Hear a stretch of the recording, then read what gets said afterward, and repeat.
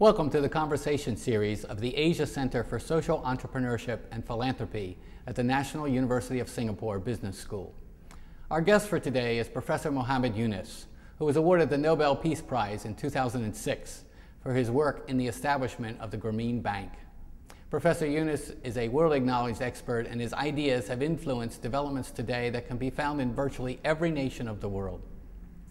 We began our conversation by asking Professor Yunus to think back to the beginnings of his ideas and how those ideas actually came to be as he worked with poor villagers in his native Bangladesh. Well, Professor Yunus, welcome to the National University of Singapore Business School. We're very pleased to have you with us. You've been called, of course, the banker for the poor.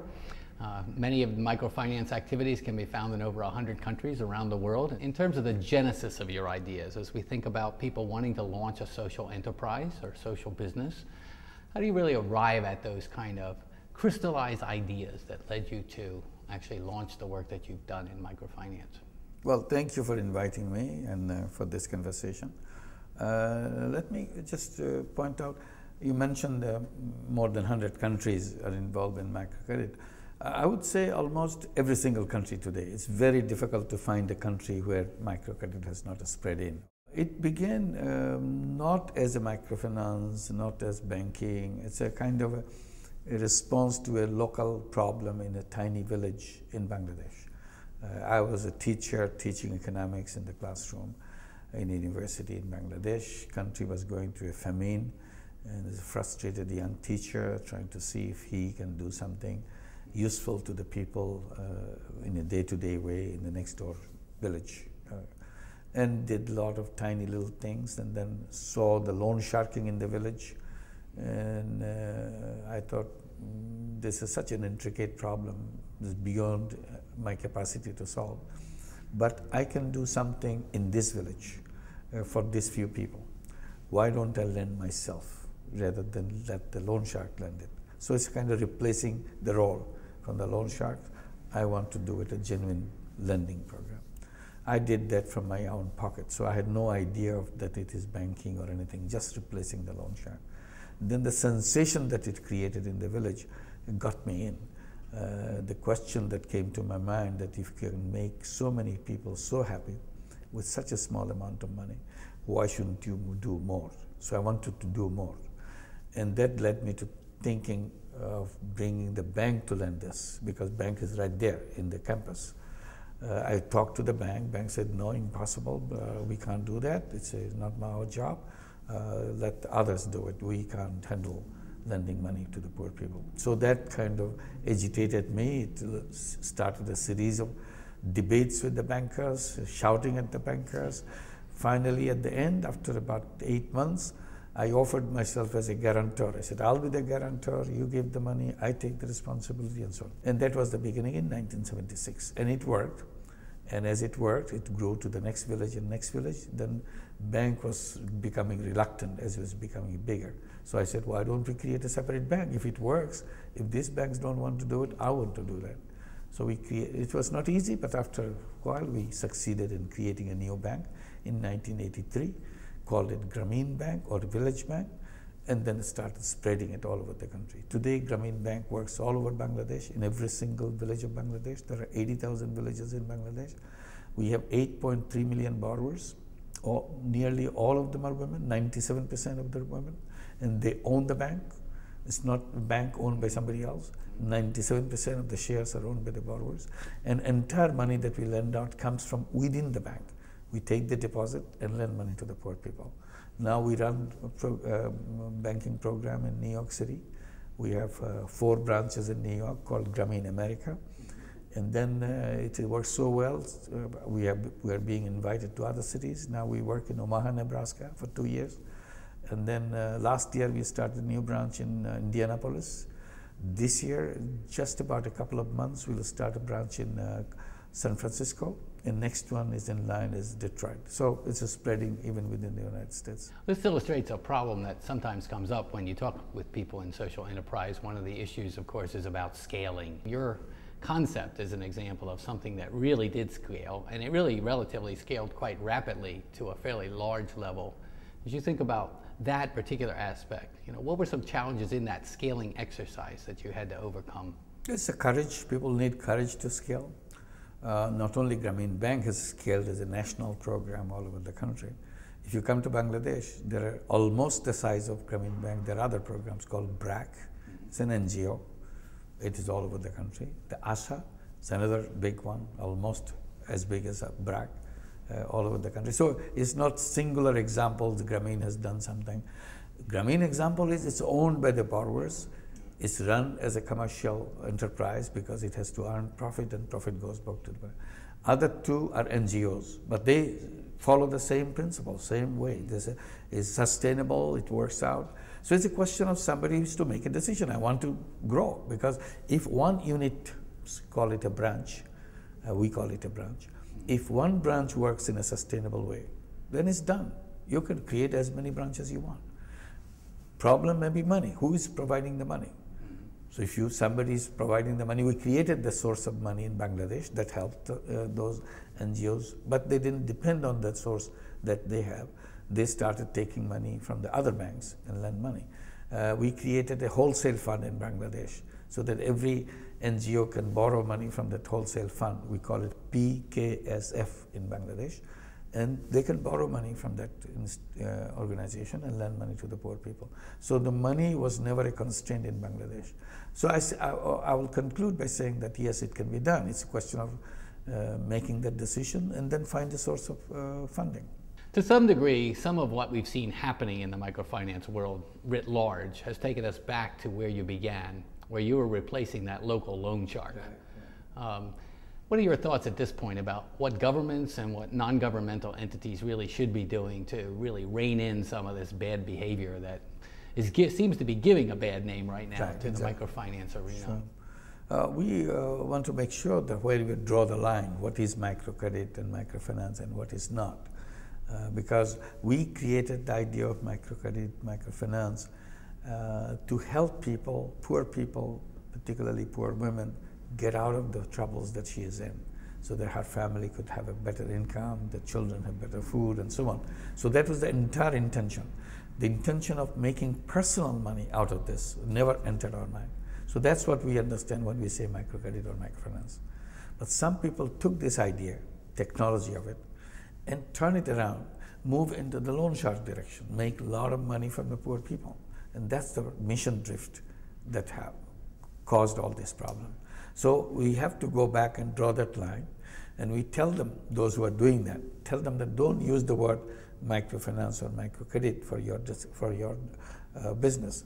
You call something else because microcredit and microfinance, these words bring a lot of respectability, a uh, lot of credibility because it helps poor people.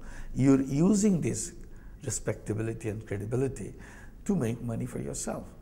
So I kept reminding that these are two different business completely. So have a different name for yourself and we draw the line where it departs. So that's the only way. If they want to be on that side, let them be on that side. I cannot stop them. But when you say microcredit, this is what we understand. It is dedicated to solving the problems of the poor people by offering them financial system, financial uh, services in a way affordable to them so that they can do the maximum benefit. Maximum benefit goes to them. People always want to know for somebody who wins a Nobel Prize, you know, what is it like to get the phone call? Can you talk a little bit about a little bit about the feelings that I'm sure are still quite there with you, and also how it's impacted you personally, and how it's impacted the kind of work that you were carrying on? Well, it's it's amazing thing to uh, have a prize like a Nobel Prize. Uh, you cannot imagine it before you, it happens. Uh, you can think about all the thing that uh, possibly will happen, but still is not anywhere near what actually happened. The whole world attention immediately is on you. This is such a prize that entire world has got glued into it. The day it is announced, every single newspaper in the world makes it a front page news, and every TV channel is at the first news and the announcements and so on. And your not only the announcement, it's your bio, it's what you have done, how you did it. And I don't think any human being can get so much of attention uh, in a lifetime. So that's an amazing thing. And, and, and, it begins at the peak and it continues. It's not disappearing next day. So the attention level and the respect level, it goes all the way up and so on. So this is enormous, uh, whether one deserves it or not, it's not you could question. Uh, so much uh, attention, so much uh, kind of glory to a person to come through one single prize whether all lifetime works is equivalent to that. But that's the way it has been. It's a, a wonderful privilege to have that. And while the attention is there, uh, you may make use of it because you, every one of them either doing something or saying something to make things happen in the world. Uh, so while this attention level is on, you can now uh, bring the message a much wider audience than you did before. Same thing probably you said day before the prize was announced. Nobody listened to you, nobody paid attention. The next day you say it, every single person heard it, loud and clear. Even if you say it in a whispering voice, is very clear all over the world. So that's the kind of advantage that you have, uh, so that uh, Nobel laureates can use that facility to communicate to the world that what is indeed important for humankind. There's a lot of people focused on a target that by 2050 will have reduced poverty in the world by half. Are you optimistic or pessimistic about that, and what makes you feel that way? My looking at it, by two, 2050, poverty should be over, not half. It's completely over. There's nobody should be a poor person. It's 2015 we are talking about reducing poverty by half. And we are on the track. Many countries on the track. Bangladesh is one and many Asian countries will achieve that. There are eight Millennium Development Goals, and number one goal is to reduce poverty by half by 2015. The question is, what happens next? When will poverty come to zero? And in Bangladesh, I'm promoting the idea that we should be setting 2030 as the year where it should be zero. And also encouraging United Nations to come out and say that in the next phase of Millennium Development Goal. So yes, I very much uh, believe that it can happen. Look at Singapore. Singapore, everybody was poor. 25 years, 30 years back. You can go around trying to track down one poor person today. So if Singapore can do it, any country can do it. Look at all the rich countries in the world, every single country. You go back 50 years, 100 years, they were poor, they were starvation. People leaving the country because they're dying in famines and so on. But today, rich countries. So it's, it's, it's, a, it's the way the progression is made, is the way things happen. Today, that rate of change is fa much faster because of the uh, integration of the economy of the world, uh, globalization, technology, and uh, innovations, making uh, connectivity so much easier, almost costless uh, connectivity uh, speed of communication, the speed of transportations and all that. So all these things will be collapsed in much shorter period today, which took century, it will take a decade today. So as you think about this, obviously one player in all this action are social businesses, and there's been a great increase of interest and in the genesis of these sorts of enterprises. If you were going to start today a social business, what sort of areas would come to your mind? What kind of businesses would you actually launch? Social business, uh, first of all, is a mission driven business. It's a problem solving business. The, the, distinction between profit making business and social business is in a profit making business, somebody is investing money in a business to make more money for himself or herself. Uh, so it's a personal gain oriented business. Social business is not personal gain driven, is a solution seeking uh, business. Now, in what area it will be applicable? Any problem. You think of a problem, create a business to solve that problem. It could be any kind of problem. It could be poverty as a problem, create a business to solve the problem of poverty. Health is a problem, create a business to solve the problem of health. Why is business? Why can't charity do that? That's a traditional way we used to do that. We still do that we give money to the hungry, we give money to the sick, we give money to the people uh, who don't have education so that they have education. This is the charity mode. If you don't have a job, I give you money so that you can survive. Government gives money, call it welfare, so that you can take care. That's the charity mode. I said each one of them can be done in a business way. It becomes sustainable. Same money can work and work and rework and recycled again and again, so you get more benefit. That's the whole idea of social business.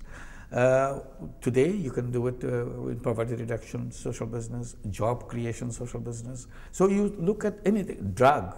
You are on drug, or children are on drug. You create a social business to pull them out of drug. Uh, or drinking habit, alcoholism, create a social business out of that. You may think, can you do such things and everything can be done? I believe so, but I don't have a ready formula. We don't have a off the shelf. But creative mind can find all those solutions if you think in that direction. That's what the beauty of social business is, make you think. You make you bring your creative ideas. It make you bring your technology because technology is moving very fast. But why can't we take this and solve this problem? We are not doing that today because technology is running to make money.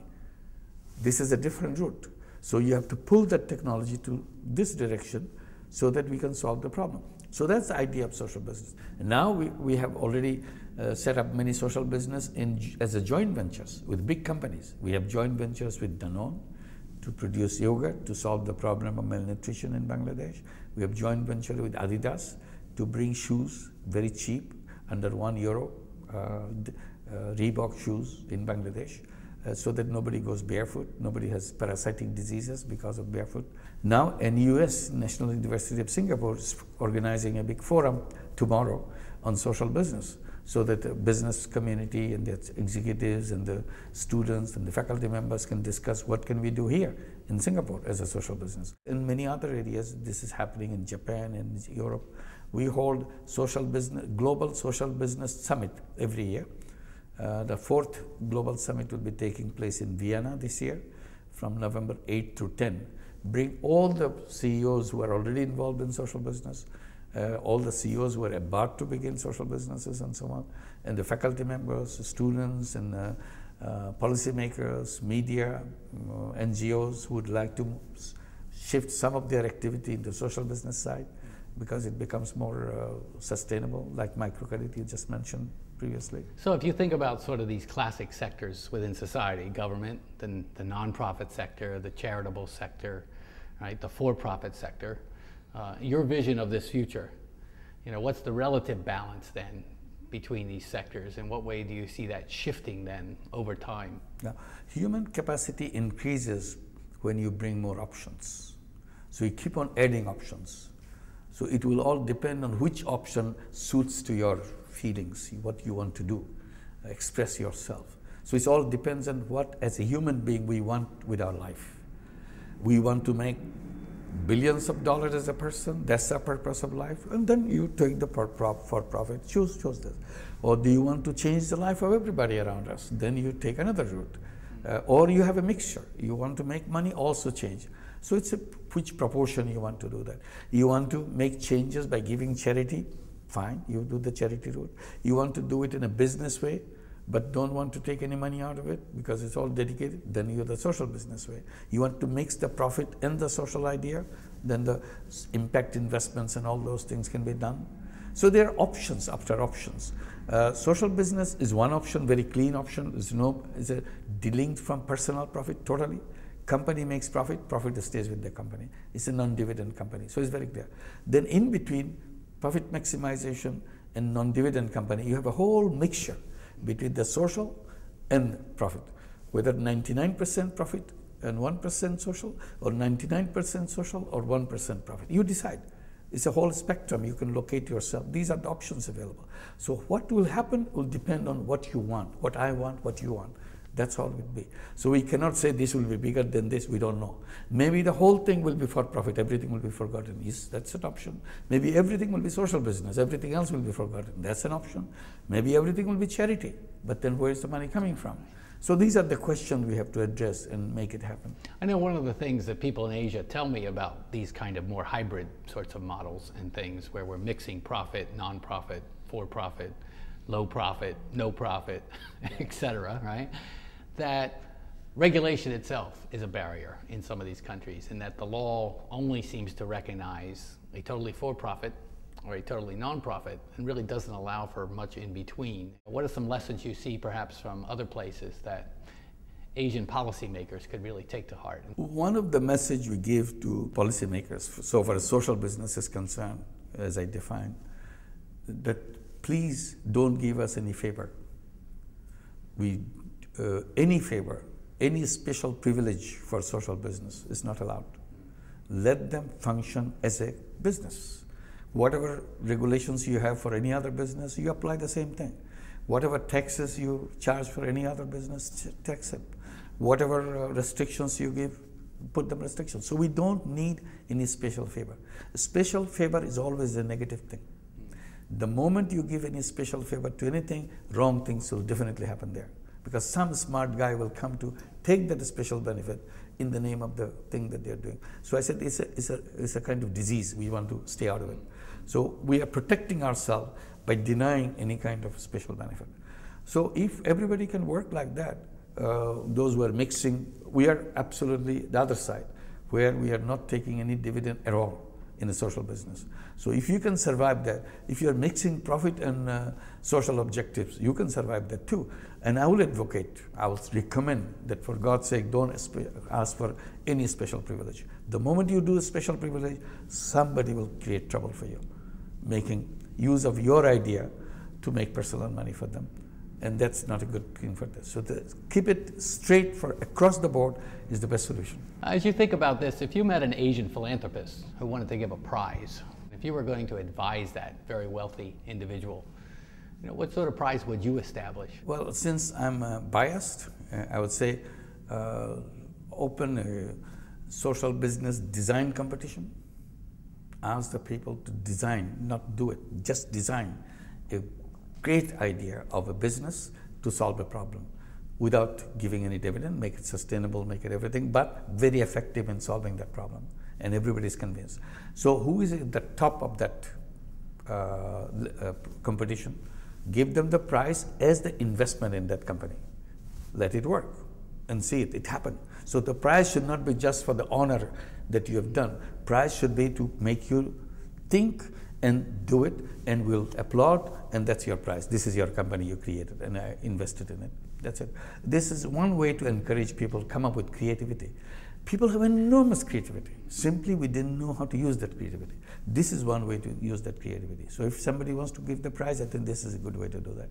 Any final words of advice you'd give to that aspiring individual out there, young person, older person, maybe somebody actually quite on in years? Um, who has that spark of imagination, that creative impulse? The creative impulse is everybody has that. It's, a, it's a in, in, inside of every human being. It's unlimited capacity. Uh, it's a question of addressing that capacity. First of all, to become aware that I have unlimited capacity. Uh, once you are becoming aware, then the question is, how do I use it?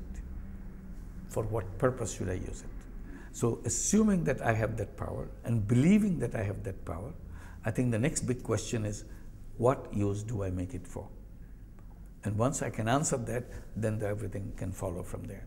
And that's where we can see that all the problems that we see around the world is nothing in front of the human creativity. Human creativity is much more powerful than if putting all the world's problem together in one basket. It just cannot stand next to each other. So that's a human capacity. But we are not using that capacity. We forget. We have the huge power, but use for only tiny little things. Personal interest. That's our tiniest thing. That personal thing can be used, but other things can also be done. But we don't do that because our theories, our books, our textbooks don't tell us that. All they tell you that go ahead and do business, make money, and so on. So we became money makers. World has become money chasers the world is made up of money chasers. And that's the wrong thing. We are not just money making robots. We are human beings with enormous capacity. We can change the world anytime we want. If we said that money making, yes, but at the same time, much more powerful ability that we have to solve all the problems. Well, thank you for your inspiring insights and sharing with us today here at NUS. Thank you.